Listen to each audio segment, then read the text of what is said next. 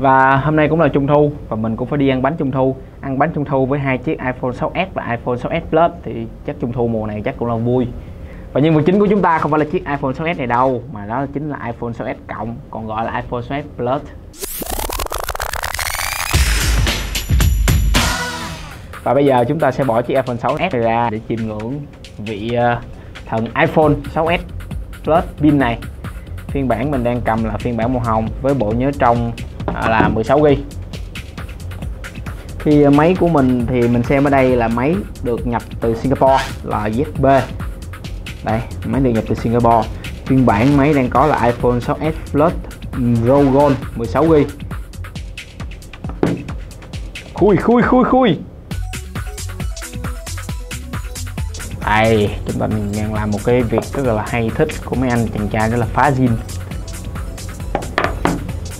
Rogon và phụ kiện của máy à, vẫn là như vậy adapter sạc một tai nghe và một cáp lightning. Và bây giờ trên tay mình đang cầm là một chiếc iPhone 6s Plus phiên bản màu hồng để mình mở siêu đây phiên bản màu hồng của máy thì vẫn như chiếc iPhone 6 là màn hình trên là màn hình màu trắng và viền uh, cái nút home vẫn là viền màu uh, hồng. Và phía dưới của máy là một ừ, thiết kế bằng nhôm series 7000 thì nhôm này cứng cáp hơn rất là nhiều so với lại uh, cái chất liệu trước nhưng mà những không có thể thay đổi nhiều. Và cảm giác lần này mình cảm giác đúng là nặng tay hơn và nó nặng ở phần đầu nha nó nặng ở phần màn hình tại vì có công nghệ 3D Touch nữa. Và mình có thể soi. Đây là chiếc iPhone 6s Plus uh, à, và còn đây là một chiếc iPhone 6s màu hồng. Cả hai đều có một màu uh, hồng giống nhau.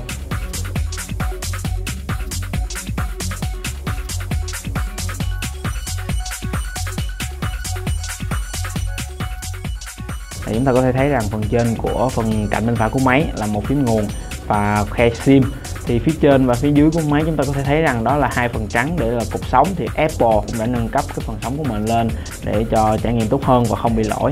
À, vẫn là camera lòi và camera này viền camera vẫn là viền camera màu hồng luôn. Và ký tự iPhone S phía dưới là biểu hiện cho cặp đôi mới à, xuất hiện trong năm nay. Cạnh trái của máy là lúc gạt rung và hai phần tăng giảm âm lượng được những đường tách riêng ra và làm khá giống chiếc iPhone 6 thì thật ra nó giống iPhone 6 mà.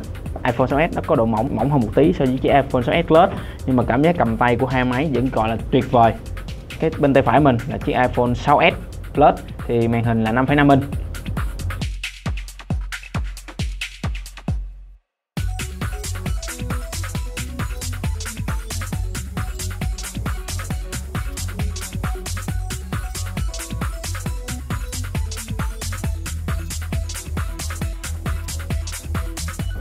À, bây giờ thì ờ, chiếc iPhone 6s có vẻ như cảm giác như lọt thỏm vào cả gần như cái màn hình của chiếc iPhone 6s Plus rồi.